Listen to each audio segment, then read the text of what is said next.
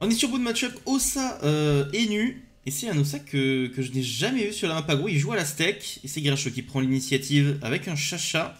Euh, non, c'est non c'est euh, l'Ossa qui prend l'initiative, excusez-moi. Euh, on sait pas quel familier il a, il a euh, le, familier de, Temporis. Et le sait de la piqûre motivante, ça c'est assez, assez triste. Et du coup, il va s'en passer, il a plus les PA. Ça envoie Crackler et Boarkmage. le plus important c'était les PM évidemment, sinon le, le Crackler pouvait pas taper du tout. Et du coup, pas de, pas de Resnat, pas de crapaud sur ce Crackler. Il va sûrement prendre une, grosse désinvocation de la part de, Grincheux qui perd un PA quand même sur l'écrasement. Et ouais, ce Crackler se fait one shot. Ce sera le même sort pour le Bourg-Moi. Ou alors euh, est-ce que Grincheux va juste l'ignorer pour le moment? Non, il se fait one shot aussi, même pas de critique. Pas mal d'agi sur Grincheux, peut-être un chacha agi hein, d'ailleurs. La maîtrise des baguettes, ouais bon, là je pense qu'il n'y a plus trop de doutes, c'est un éluterel R. Allez, c'est tout ça. Il va sortir le press pick. C'est vrai que euh, ben, cet Enus, s'il n'est pas à portée de baguetterelle, il peut pas faire grand chose, il peut juste envoyer des, roulages de pelle, mais ça fait pas énormément de dégâts. Donc si on a le compte du press pick pour l'Ossa, euh, bah, on va tout tanker très facilement. Prise des épées, on l'a dit, hein, il est à la steak. Panayotis et Grincheux qui va pouvoir se débarrasser de ce press pick qui s'est un peu offert malheureusement. Il a même pas pu mettre de... De, euh, moquerie. Et Grincheux qui va voler des PM pour placer la corruption. Ça va spammer les coups de baguetterelle. Les trois coups qui tombent, qui un PA et la PL animée. Prendre de la distance et on va temporiser le retour de la prochaine corruption qui arrivera donc euh, T7.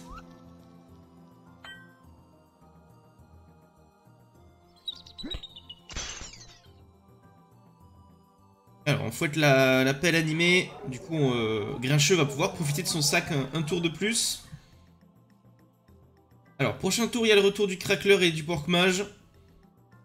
Pour l'instant, il n'y a pas grand-chose à faire. Ça envoie des tofu. La, la, piqûre motivante qui n'a pas été utilisée hein, du côté de cet ossa. Ils n'ont pas les PM pour les taper. Grincheux, il a beaucoup de PM. Est-ce qu'il se débarrasse des tofu Après, ils sont loin de toute façon. Hein. Euh, là, vu comment ils sont placés, il y a moyen de, les éviter dans tous les cas. Mais bon, je pense que c'est bien de les tuer. Ça n'a pas utilisé... Ah si, il a utilisé sa bénédiction animale, mais bon, il a utilisé euh, il n'y a pas très longtemps, donc il a encore 6 tours. Mais c'est vrai que si on laisse les tofu et qu'on débuffe cette bénédiction animale, ça peut vraiment mettre l'ossa en galère. Euh, des petits dégâts au roulage de pelle avec cette cupidité. Mais attention, hein, euh, cupidité sur un ossa, ça peut être très efficace avec les, les grilles spectrales, voire même des frappes du crack. Et peut-être, et même sûrement, une, une Aztec feu hein, pour l'ossa, c'est pas impossible. Alors on s'avance, on a le retour du crackler, mais a priori on veut pas l'utiliser pour, bah, il y a euh, Panayotis, pardon. Alors, il sort le dragonnet, il veut se débuff la clé, mais il va se débuff beaucoup de choses quand même. Pas sûr que le dragonnet euh, ait envie de débuff cette clé. Il y a trop de bonus à côté, mais le problème c'est qu'avec cette clé, euh, bah, Losa il peut rien faire. Il peut rien faire actuellement. Il y a un jeu qui n'a plus d'accélération par contre. Débarrasse des tofu, d'un tofu du moins, et il reste des PA pour taper sur l'ossa, peut-être la désinvoque, voilà, sur le dragonnet rouge on s'en débarrasse très rapidement, ça fait une grosse invoque en moins hein, pour l'ossa, on se met en ligne pour une force de l'âge, ça vole un PM.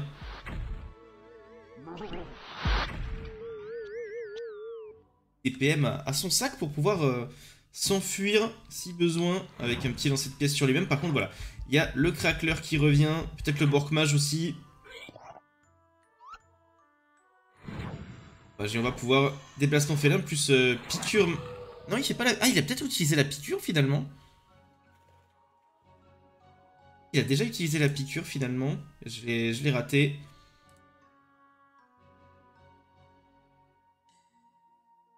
Alors, petit lag. Ok, le Borkmage qui s'avance. Et du coup, c'est le sac animé qui va tout prendre. Le crackler, pardon, on va pouvoir le tuer. Ça va quand même donner les raises.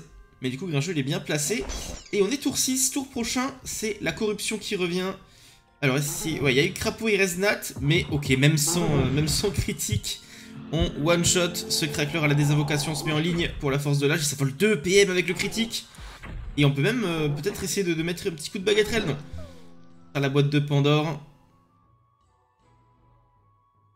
Là, il y a la corruption du côté de Grincheux. Et cet Ossa n'a pas les PM pour l'éviter. Grincheux qui maîtrise euh, vraiment à la perfection ce combat.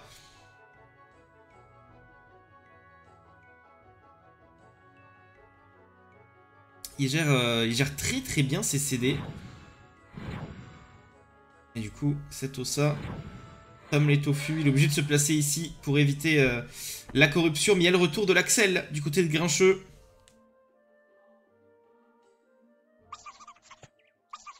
Alors après, il y a trois tofu. Est-ce qu'ils s'en débarrassent? Ou est-ce qu'ils les ignorent pour juste spam cac sur l'ossa? C'est qu'il y a assez mal en point quand même, 1800 HP déjà. Je suis à plus de 3000 encore.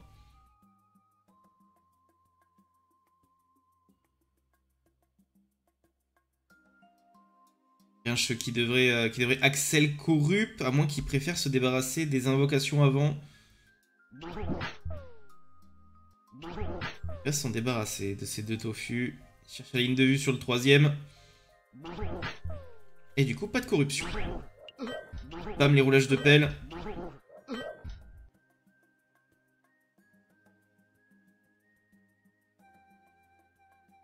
Il avait peut-être pas l'Axel, c'est 6 tours l'Axel, mais euh, il me semble qu'il avait utilisé tour... Euh, ah, mais il avait peut-être pas utilisé tour 1 en fait, donc il avait peut-être pas l'Axel. J'ai peut-être dit une bêtise. En tout cas, l'Ossa qui va tenter le chauffeur, ça ne passe pas. Le press pique. Va forcer une désinvocation. Là, on s'enfuit. Pour cette Ossa, on veut éviter la, la, corruption. Si l'Axel crit, il n'y a pas la portée. Et le problème, c'est que Grincheux peut pas profiter de son doppel contre un Ossa. Il va aller chercher sûrement le press. Il doit avoir la portée pour des roulages de pelle. Bon, il a déjà la portée pour le press donc euh, sur l'ossa c'est bon. Alors, ça essaie de débuff la bénédiction animale et la cupie. Ok, la cupie, c'est pas un problème vu qu'il y a la clé réductrice. C'est vrai que du coup, cette ossa va perdre la bénédiction animale. Et euh, ouais, ce chauffeur, on pourrait le laisser en vie hein, pour Grincheux, juste pour gêner. Euh, prendre une invocation. Oh Ça a quand même la portée pour les corbeaux. Ça spam corbeau, grincheux 2600 HP, qui n'a que 20% de reste feu. Ça tape un petit peu, l'ossa qui se charge, ça maîtrise des épées qui crit. Faut faire attention, hein, parce que une Aztec ça peut faire mal et Grincheux n'est pas à l'abri d'un EC cac, mais il va y aller de nature, il veut même pas corrupt. Et je pense pas qu'il finisse. Hein. Il a pas crit malheureusement. Ah, il tente pas. tente pas. Euh, il un peu la, corruption.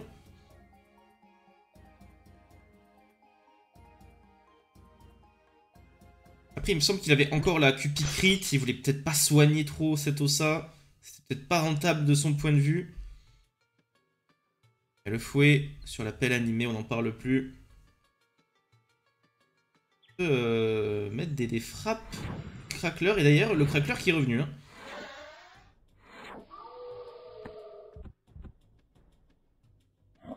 Ah, c'est bien joué ce sanglier. Ça va bien gêner euh, Grincheux. Qui va être coincé ici. Avec le sanglier pour euh, bloquer, ça va forcer la désinvocation.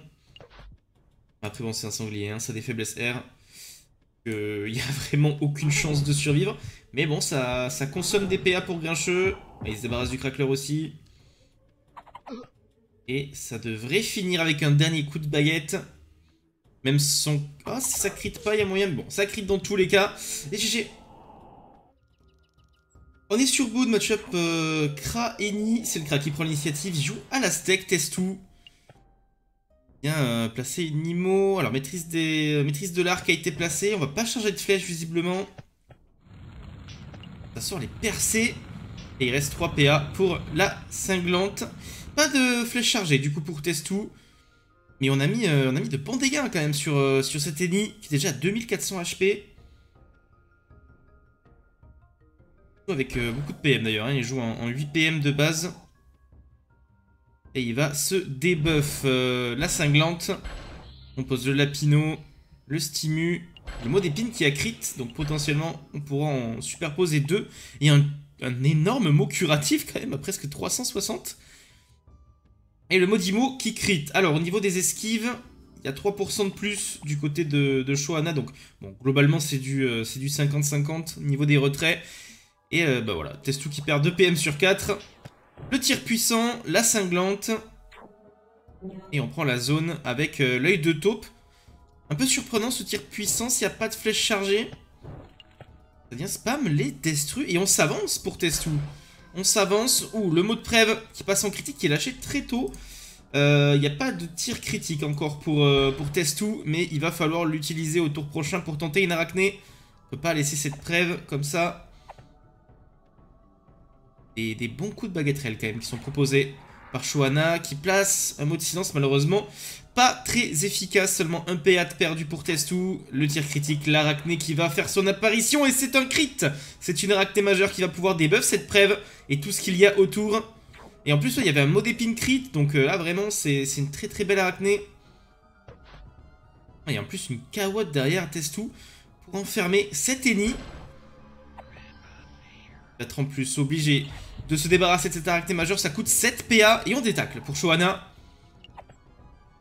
Il reste quelques PA pour un coup de baguetterelle.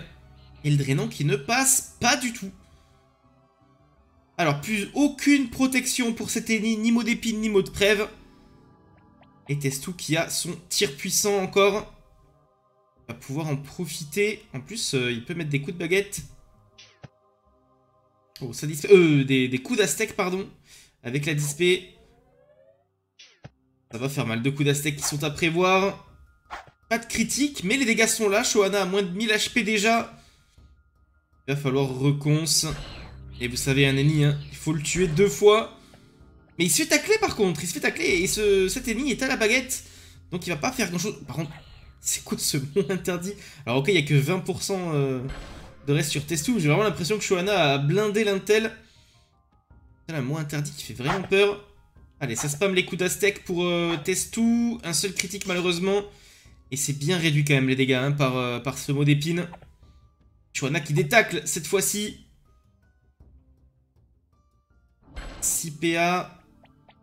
Va pouvoir éviter les coups d'Aztec au ce tour, mais c'est pas son intention. Visiblement, le mot de silence qui passe bien à moins 3. Alors, 14 PA pour Testou. Mais il a plus son tir puissant, il a juste la maîtrise des épées. Peut-être la maîtrise de l'arc qui revient, voilà, elle est posée. 2 PA pour une. Et ça veut full cac pour Testou. On veut faire le plus de dégâts possible rapidement avant que euh, Shohana ne récupère sa reconce. Qui reviendra tour 12. Et le stimu qui est replacé sur l'avion. Par contre, mais c'est mots curatifs. Allez, ça tape, hein. Ça tape avec cette baguetterelle. Alors, Testou à la dispé. Est-ce qu'il va continuer de, forcer les coups de cac euh, Il me semble par contre qu'il y a double mot d'épine. Non, pas encore. Ok, pas encore le double mot d'épine. Ah, il force, il force, teste tout. Il a 2 PA en plus. Peut-être un tir critique. Non, ce serait une, une IMO. Je crois qu'il a, il pas encore récupéré le tir critique. C'est tendu, hein. C'est tendu. Ça fait des bons dégâts à la steak. Seulement 25% de raise sur Shoana. Qui va répondre. Ah, ça va finir. Ça va finir. Il n'y a pas énormément de raise du côté de Testou non plus. Mais c'était euh, c'était bien serré. C'était bien serré. C'était rapide. GG. On est sur Kra, les match-up Sadi-Kra. C'est le Sadi, euh, c'est le Kra pardon qui prend l'initiative. Et euh, maîtrise de l'arc pour jouer la percée, double percée. Et on place l'œil de taupe. Après c'est bon, il est assez loin, Beu. Les gars ne peut pas du tout poser les poisons et se débuff l'œil de taupe. Et du coup, est-ce qu'on se débufferait pas quand même Ouais, évidemment, hein, pour récupérer les PM et la PO. Bien joué de la part de Beu qui s'enfuit au maximum pour ne pas recevoir le tremblement et le vent empoisonné. Alors la surpuit qui est posée. On trouve un poison para en critique. Belle rester sur Beu, mais pas sûr que ce soit l'élément euh, qu'a choisi Algat avec son Sadida. Peu de reste-feu hein, sur Algat, mais beaucoup de rester de son côté. Et d'ailleurs, Beu qui n'a pas chargé de flèche, il a une diagonale ici à trouver. On pourrait peut-être euh, essayer de prendre des zones pour tuer cette surpuis. Peut-être tuer la gonflable aussi avec euh, une limo, ça coûte pas grand chose. Plus, bon, il a la maîtrise de l'arc, donc jamais de la vie cette gonflable peut survivre.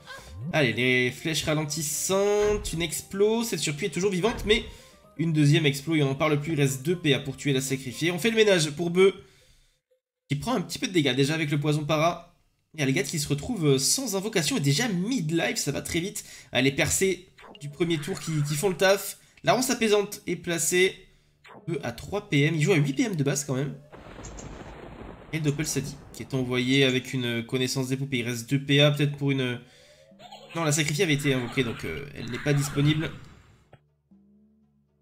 Et pourquoi ce Doppel Sadie n'a pas invoqué de folle? Ah, ok, Algat en fait s'est mis la connaissance des... Et non, euh, non, non, mais non, mais non. Ce Doppel Sadie fait n'importe quoi. Oh, 100 HP déjà pour Algat. Après, c'est vrai que le match-up est pas évident pour le Sadi. Surtout si le prend l'initiative. Après, de manière générale, un Kra prend l'initiative, c'est très très fort. Ok, alors on pose l'arbre de vie. On met un arbre normal devant pour cacher la, ligne de vue. C'est vrai que Beu a peu de PM avec une dispé. Il a juste besoin... Après, le, le Doppel se displace bien.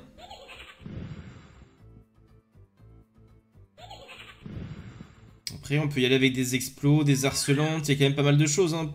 Il, y a, sûrement une ligne de vue à trouver à l'explo pour taper sur Algat et en même temps euh, taper sur l'app de vie. Débarrasse du peut déjà dans un premier temps. Et évidemment, hein. belle zone. On peut même y aller à la ralentissante. Gars qui récupère un peu de points de vie. Qui vient tabasser cet arbre de vie. Et il va tomber. Cet arbre de vie, d'ailleurs, au passage, il avait perdu des PA hein, avec la ralentissante, donc il n'aurait pas relancé son sort et du coup, vu qu'il est mort, euh, aucune, incidence. Bug qui va perdre 3 PM avec cette herbe folle. Euh, qui euh, enlève tous les PM possibles. Enfin, du moins sur le jet qu'elle a fait là. Et Algat qui vient se placer pour... Ah, il n'y avait pas de... Il n'y avait pas de poison para Non, ah non, non, non. Il n'y avait pas de poison para. Il a été passé au tour avant. Ouais. Les magiques Les magiques qui font mal sur seulement 10% de feu. Et Algat qui récupère cette œil de taupe. Mais normalement, on a de nouveau la ronce, euh, insolente, il y a peut-être moyen d'aller chercher les, poisons là en vrai. 1, 2, 3. Il y a pile, il y a pile ce qu'il faut si on se place ici. Après le souci c'est que si on se place là, des lignes de vue un peu gratuites. Mais après, Alligat se débuff, récupère 3 PM, il y a moyen de se placer. Non, il n'y a pas le retour de l'arbre. Il n'y a pas le retour de l'arbre encore un petit peu, mais là normalement Beu devrait finir, il peut choper la ligne de vue sans problème. Il peut y aller à la persécutrice, et je pense que c'est le, but du qui se recule. Et ça va finir ici, GG.